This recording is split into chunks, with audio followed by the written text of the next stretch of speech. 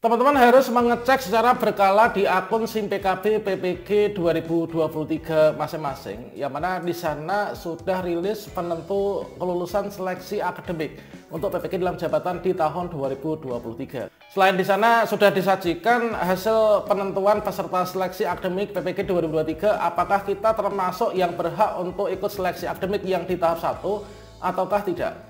Selain itu juga ada perubahan penting yang wajib kita ketahui serta nanti kita tidak lanjuti untuk ke depannya kita ikut seleksi akademik di hari Senin ya.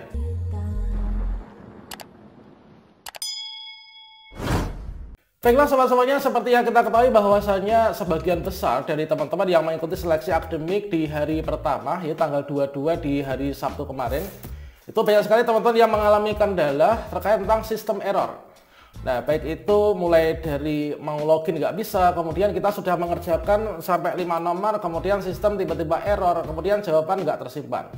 Ada lagi yang di sesi 2 itu kita sudah menunggu lama masuk ke ruang ujian, namun eh, selama menunggu satu jam lebih itu belum bisa mengunduh untuk username dan juga password ya yang akan kita gunakan untuk login ke akun masing-masing. Dan atas kasus tersebut telah disampaikan terkait tentang penundaan pelaksanaan seleksi akademik tanggal 22 Juli 2023 yang mana di situ disampaikan pada pukul 3 lebih 35 sore yang mana pada intinya itu adalah sehubungan dengan belum selesainya proses uh, pengendalian kendala teknis mohon izin kami informasikan bahwa untuk seluruh peserta seleksi akademik yang terjadwal pada tanggal 22 Juli 2023 tidak dapat melanjutkan ujian ini dan dapat dipulangkan teman Kemudian penjadwalan ulang seleksi akademik akan dilaksanakan setelah sistem uh, siap kembali. Peserta seleksi akademik diharapkan untuk mengakses informasi dari laman ppgkemdikbud.go.id dan juga akun SIM PKB masing-masing.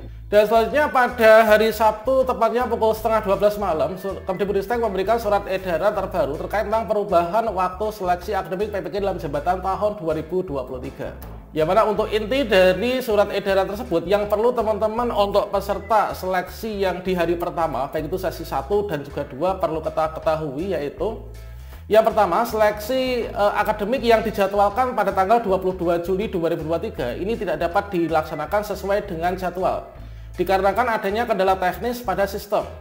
Itu yang pertama teman-teman yaitu jadi untuk teman-teman uh, yang ikut seleksi akademik di tanggal 22 itu tidak dapat dilaksanakan sesuai jadwal dikarenakan adanya kendala teknis pada sistem.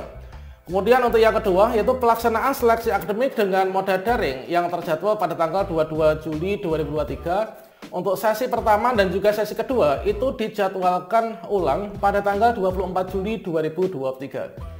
Nah, sesuai dengan pembagian sesi sebelumnya di tempat uji kompetensi atau TUK yang telah ditentukan. Selanjutnya informasi yang ketiga yaitu seluruh peserta seleksi akademik dengan moda daring yang terjadwal pada tanggal 22 Juli 2023 tersebut, baik itu untuk sesi pertama maupun juga sesi kedua, agar hadir pada waktu penjadwalan ulang eh, yang dimaksud ya pada poin nomor 2 itu setelah teman-teman mengunduh dan mencetak ulang kartu ujian di laman ppg kemdikbud.go.id kemudian kita login ke akun SIM PKB masing-masing yang mana untuk pengunduhan kartu peserta ujian ini kita bisa lakukan mulai dari tanggal 23 Juli 2023 kemudian sedangkan bagi teman-teman peserta seleksi akademik dengan moda semi daring pada TUK spekulator lampir yang ada di bawah ini ini adalah tidak dilakukan penjadwalan ulang ya dan seleksi akademik ulang.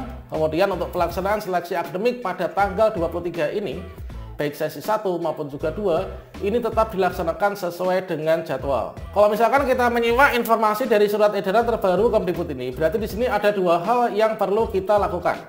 Nah dua hal yang kita perlu lakukan e, bagi teman-teman yang nantinya e, itu kita akan ikut penjadwalan ulang untuk seleksi akademik ya. Baik itu untuk yang sesi 1 maupun juga sesi 2. Kalau misalkan e, TUK kita itu tidak termasuk dalam lampiran ini, berarti kita ini wajib melakukannya, teman. Nah, apa yang kita lakukan? Yaitu yang pertama, teman-teman secara berkala ini di tanggal 20, e, 23 ini kita login ke akun SIM PKB.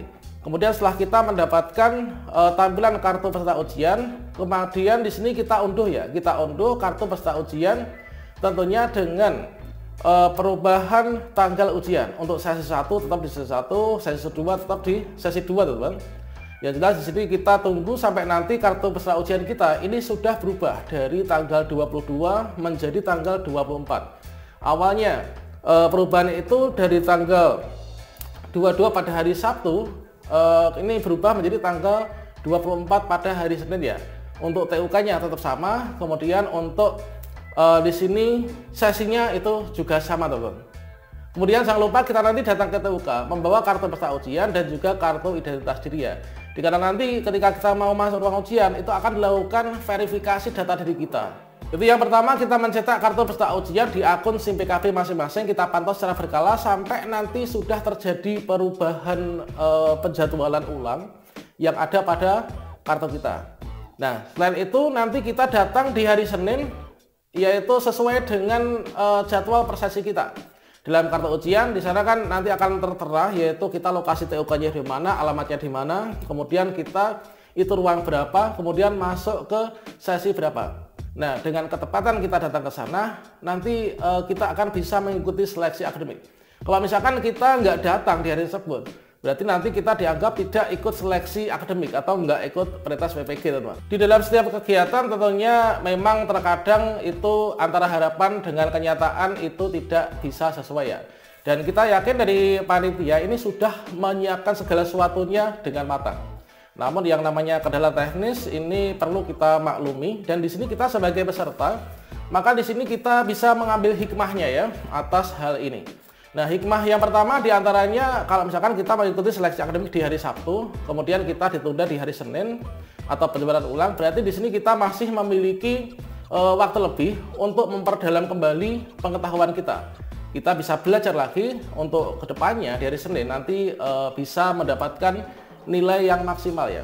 Kita mendapatkan nilai maksimal bukan hanya lulus passing grade, namun juga dengan mendapatkan nilai yang tertinggi. Itu merupakan salah satu indikator untuk kita itu nanti bisa segera dipanggil PPG dalam jabatan Pak. Dan selanjutnya di sini kita juga tentunya itu bisa belajar sabar ya, belajar sabar mungkin di antara kita itu ada yang antara jarak tempuh tempat rumah tempat tinggal sama dengan uh, datang ke tempat uji kompetensi jaraknya ada yang sangat jauh. Jarak tempuh ada yang satu jam dua jam tiga jam empat jam Nah, tentunya di sini merupakan pengalaman untuk melatih kesabaran kita dan kita terima segala sesuatunya ini dengan tulus dan juga ikhlas. Kita yakin bahwasanya segala sesuatu yang kita alami itu sudah ada hikmah yang disiapkan ya oleh Tuhan Yang Maha Esa.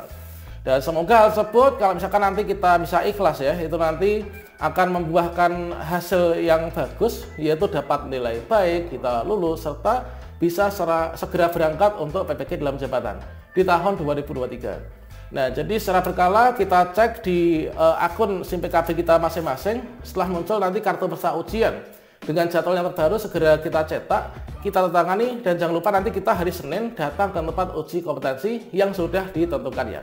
Salam sukses untuk kita semuanya.